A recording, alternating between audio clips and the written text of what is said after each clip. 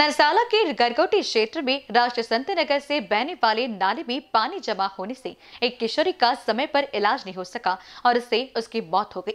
मृतका की पहचान जानवी चिंचल करके रूप में हुई है। इस घटना से आक्रोशित शिवसेना के दीपक मले और क्षेत्र के अन्य नागरिकों ने हनुमान नगर जोन कार्यालय पर धरना दिया। प्रशासन द्वारा रुके हुए पानी को हटाने के बाद शाम को अंतिम संस्कार किया गया। स्थानीय लोगों के पिछले कई दिनों से मांग करने के बावजूद महानगर पालिका ने संधान ले लिया और प्रशासन की बेरुखी सामने आई है। राष्ट्र संत नगर की जानवी मंगलवार की रात अचानक बीमार पड़ गई।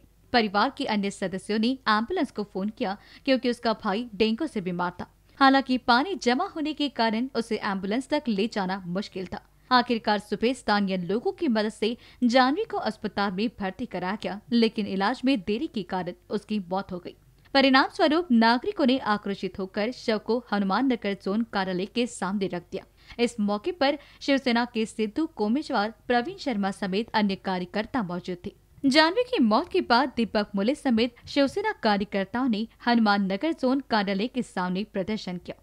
सूचना मिलते ही हुड़केश्वर थाने के पुलिस अधिकारी काफिले को लेकर पहुँचे। मनपा से पानी निकासी को लेकर ठोस उपाय व लिखित आश्वासन मिलने तक नागरिक बैठे रहे। शाम को इलाके में बुलडोजर से सड़क मार्ग प्रशस्त करने के बाद जानवी का अंतिम संस्कार किया गया। कैमरा पर्सन राजकुमार मोहट के साथ दिशा हटवार की रिपोर्ट।